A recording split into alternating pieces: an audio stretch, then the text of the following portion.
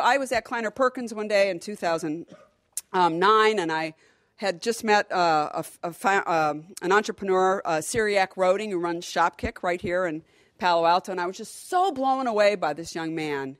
And I thought, what are we doing here in New York? I mean, there's no way you're going to get a sense of what is happening here by being the big guy from New York flying in. So I went back and said, I think we need to go to Silicon Valley. And the boss said, go. So off we went. Um, and then we really did most of that recruiting here. But when we got here, we recognized very quickly, because as Tina mentioned, we are also investing in startups.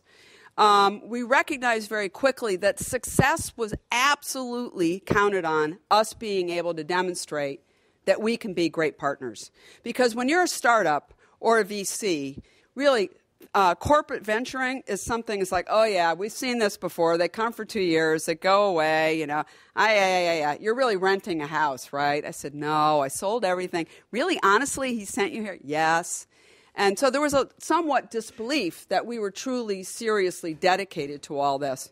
But um, it, it was really being able to demonstrate that obviously as a company with our rich history and our incredible channels and our volumes if we can help a startup really scale if we can teach them how to scale it's a gold mine for them right? But on the other hand it can be a nightmare if you absolutely bury them in legal baloney and procurement issues and you know all sorts of challenges and I have to say, the very first one we did, thank God, Cyriac, I will tell you, he would stand here right now and say we're wonderful. But in the process, the first one we did, our lawyers and the procurement guys all thought that us making a couple million dollar investment in a startup was absolutely like making a $3 billion investment in something else. And so we had to go through this whole process. And I remember him calling me one day saying, If you don't get these guys off my neck, I'm jumping out, out the bus.